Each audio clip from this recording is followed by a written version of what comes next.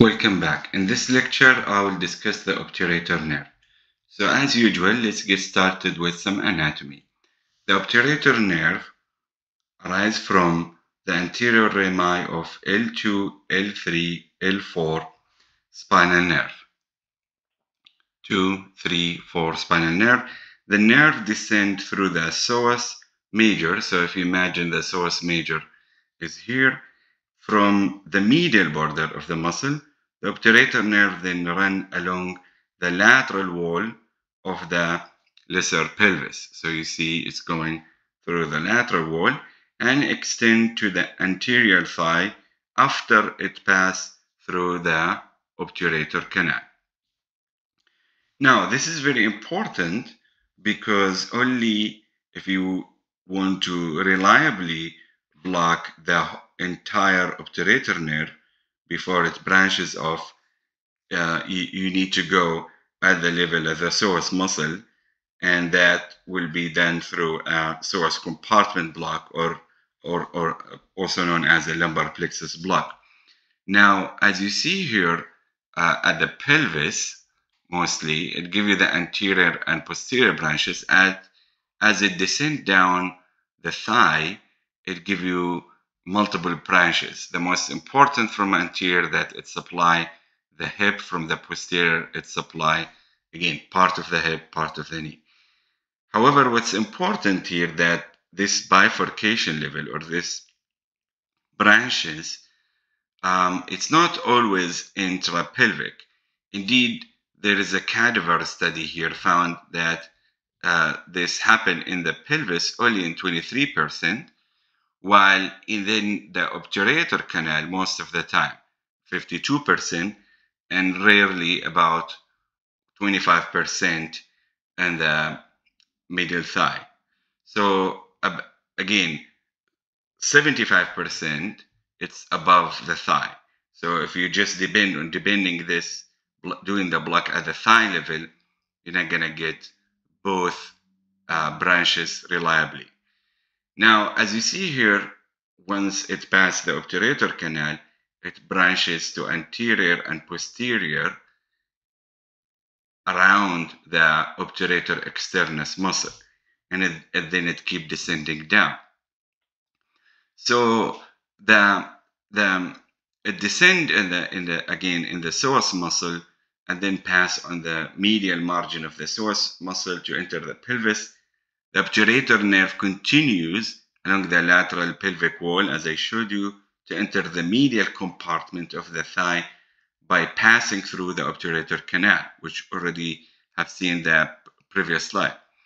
It supplies most of the adductor muscles and skin of the medial aspect of the thigh as uh, the obturator nerve enter the thigh and divided into the two branches. So if you look at this uh, picture in the right side of the uh, slide, um, just focus on the obturator, uh, the obturator externus muscle, which is this muscle. And as you see, the nerve branches off. This is the pectineus muscle, which is a muscle, it's part of the adductor hip muscles it uh, originate from the pelvis, uh, sorry, from the pubis and insert in the uh, femur. So here you see the pectineus muscle and this side. It's it's from the from the pubis to the humerus bone, and it's, it's just cut it in this view so you can appreciate the branch underneath the anterior branch underneath the pectineus muscle. So um, the when when it goes down, when it goes down, um, uh, more in the thigh, you have the three adductor muscles, the adductor uh, longus in the front, then adductor brevis in the middle, then adductor magnus. So the way we remember them by Alabama. So AL adductor longus, AB adductor brevis, AM adductor magnus. So as you see, the anterior branch is between the adductor longus and brevis. and the posterior branch, usually, you know, underneath the posterior, the adductor brevis, between the brevis and the magnus. Now here, the if you pay attention, the, the posterior branch, um, uh, again behind the adductor brevis, it supplies the um, obturator externus, the adductor brevis, and part of the adductor, uh, adductor magnus. The anterior branch, uh, it supplies the adductor longus, gracilis, adductor brevis muscle, and also contribute to the pectineus muscle and give some cutaneous branches to innervate the skin of the medial side of the thigh. Okay, so how pain related from obturator nerve present or neuralgia? Um, so again, the nerve innervate the medial thigh, the obturator externus, adductor longus, uh, the adductor muscles, right? So all the adductor hip muscles. So if you have a problem with this nerve, you will expect some weakness on the uh, hip adduction. Sensation-wise, again, it's the medial aspect of the thigh, and there is some articular branches to the hip and to the knee.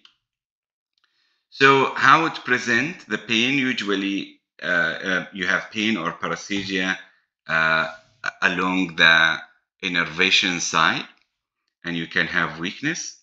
Uh, another important thing, especially when we do uh, anesthesia or when dealing with um, uh, uh transurethral resection of bladder tumor, is something called the obturator reflex, which is uh, when you when uh, it's a stimulation of the obturator nerve during the surgery in the bladder, and that can cause uh, leg jerking because of the adductor muscle spasm. Now, how we can get uh, injury of the obturator nerve? Usually with hip surgery, hip arthroplasty, or bladder surgery, as we just discussed. So the obturator nerve run near the infralateral bladder wall and the bladder neck. So it can be injured in the pelvis. Potential indication for nerve block. If you have a chronic hip pain, uh, as, a, as you've seen in my previous lecture, how the hip uh, joint get partial innervation uh, in the anterior medial capsule from the obturator nerve. Another indication will be uh, to prevent the adduction of the thigh during the transurethral bladder surgery um, another uh, indication um, for, for, chronic pain, mainly here, uh, when you have someone with paraplegia, whatever the, uh, the cause, cerebral palsy, whatever, and these people have some adductor spasticity, which is very painful, and it can affect, you know, urination, multiple things. So it's a it's a good idea to block this nerve, or even do uh, new uh, chemolysis for this nerve with, with alcohol or phenol. Uh, it also may provide postoperative analgesia after um, knee surgery, specifically when we talk about um, uh, when there is an anterior uh, uh, cruciate ligament reconstruction, because often they take part of a gracilis tendon to the anterior uh, to reconstruct the anterior cruciate ligament.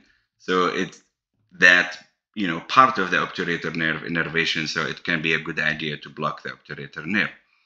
And if you have above knee amputation. Now, how we do that? So, generally speaking, we have two approaches. We have the distal approach and we have the proximal approach. The distal approach is what is more common and easier and probably safer. So basically, you position the patient in this frog-like uh, position, and you uh, put your ultrasound probe in the medial aspect of the thigh, and you chase um, the pectineus until you find the adductor muscles. So you will see this classic presentation of adductor longus above, adductor brevis in the middle, and adductor magnus.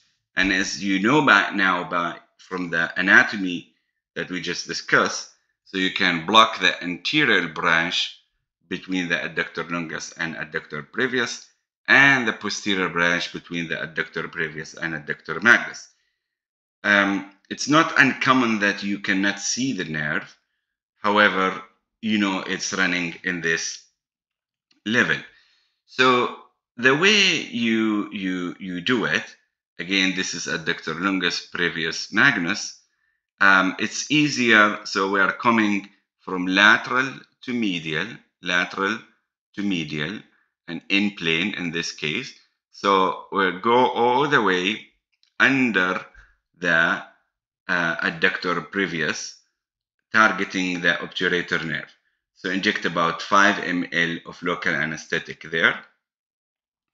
And then pull back the needle to the fascial layer between the adductor magnus and brevis and put another 5 ml. And most of the time, that's enough to block the anterior posterior branches. Of course, you can put more if you are not happy with the spread.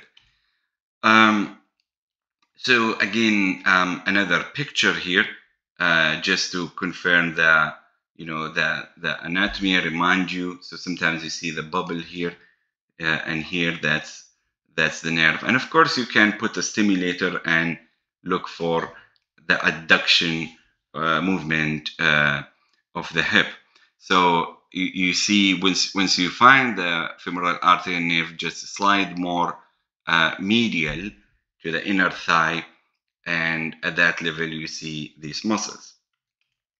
So the proximal approach, which is less commonly used, um, basically injection between the pectineus and the obturator externus muscle, which makes sense if you remember the anatomy we uh, just discussed, because the most likely the nerve start branches branching at that uh, above in the pelvis and above. So here um, you target the plane between the pectineus and the obturator externus muscle. And there are multiple reported ways how you do it. You can do it in lithotomy position. You can do it um, in different probe orientation, longitudinal, um, and I will show you a few, a few images here. So the reported uh, uh, the the the report that I'm presenting here, you place the patient in a supine position. Then the the ultrasound is oriented sagittal to the pelvic region, uh, and you scan between the femoral vessels and the pubic tubercle to visualize the superior pubic uh, ramus. And at that level, you find the pectineus muscle and the obturator uh, externus muscle, and then you insert your needle inferior superior. So that's your probe orientation. Again, this is the, the, the, the, approach we are discussing. So your pass just a little bit to see um, here the superior uh, pubic uh, ramus. And as we just discussed, the, um, uh, the pectineus muscle, the pectineus muscle insert in the pubis, and underneath that, you have the obturator externus muscle. So you're coming inferior to superior to this uh, fascial plane. Now, um, you have to pay attention to the obturator vessels here, right? Um, which is sometimes problematic. Um, and the advantage, of course, of this approach, it's really a steep angle and it, you can injure the vessels as I showed you. However, it's it's something to uh, consider as an alternative to the Uh, uh, distal approach. And this is another good references if you need to read more about this. Thank you for watching.